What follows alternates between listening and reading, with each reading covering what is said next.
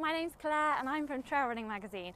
And in 2017, I pledged to run 1,000 miles because I'm going to have my fittest year ever. So what you're looking for to find this pledge, uh, you're looking for the January edition of Trail Running Magazine.